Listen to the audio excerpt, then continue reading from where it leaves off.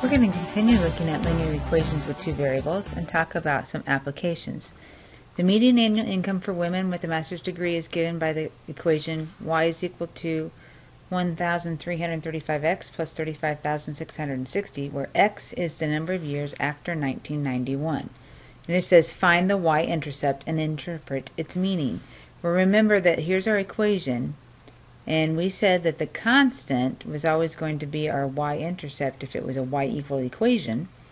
So our y-intercept is going to be 0, 35,660.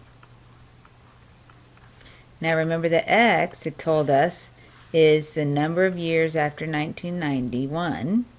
So it's zero years after 1991. And this, the y value, is what the problem's talking about, and that's talking about the median annual income. So we'll just say income.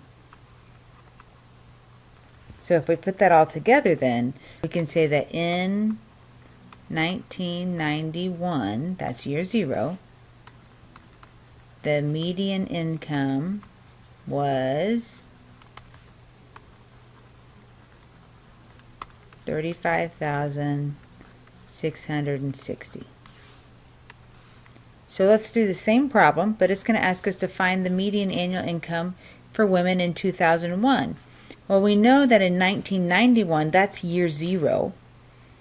So if we subtract our 1991 from our 2001, we find out that x is equal to 10.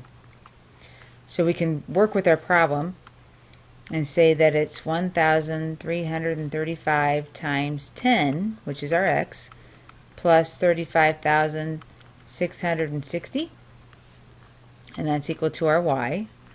So we can say that y is equal to, we add a zero here, 1,000 or 13,000 now, 350 plus 35,660. And if we add those together, we get zero, so 49,010.